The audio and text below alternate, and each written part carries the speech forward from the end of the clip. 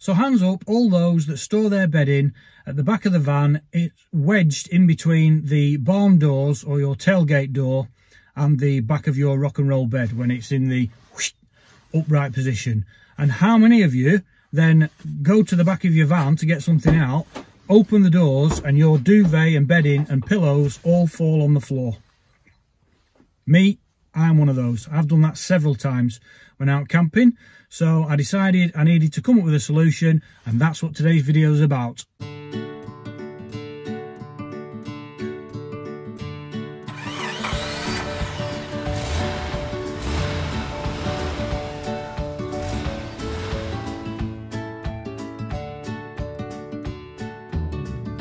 Hello everybody and welcome back to the channel and in today's video as previously mentioned I'm going to be coming up with a solution for stopping all my bedding dropping out on the floor onto the muddy grass when uh, I just want to get something out the back of the van. So I came up with the cargo net idea. Um, quite a few people on the forums have been talking about this so I thought I might as well do a video on it. Uh, basically all I've done is I've bought myself a cargo net that's uh, the right sort of size for what I need. If you're going to buy one, then yours might be slightly different. So make sure you do measure the uh, back of your van and where you want your cargo net, um, depending on what cargo net you're going to purchase. I will put a link down in the description for the uh, for the one that I bought. Uh, so if you want to take a look at that, then uh, just use the link down below. So basically, all I've done is I've used the sort of um, retaining clips, I don't know what you call them, retaining nuts, retaining little knobby thing. Oh, this is getting worse.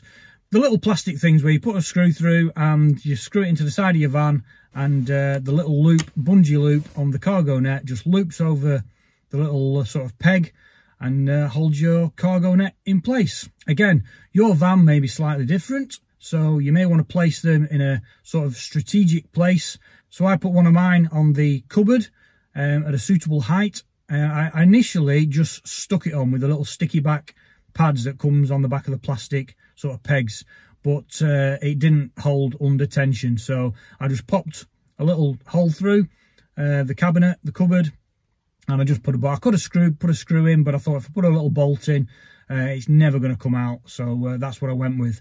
So then I just put another peg on the opposite side at the same sort of height, just screwed it into the paneling uh, and the other two I've placed underneath the rock and roll bed the little section at the end of the bed um, just screwed them into wooden base underneath I've just screwed them in underneath.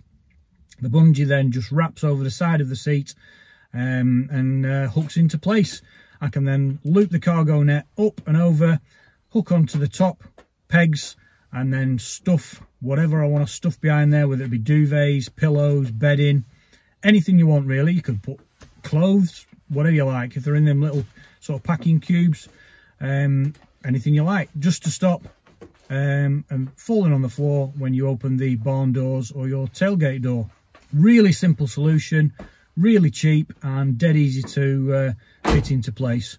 Um, your van is going to be different, so you may want to pop the uh, the pegs in different positions but uh, it's pretty much self-explanatory and works really well.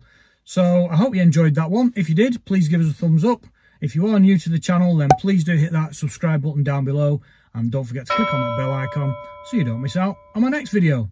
Okay, well thanks for watching and we'll see you on the next one.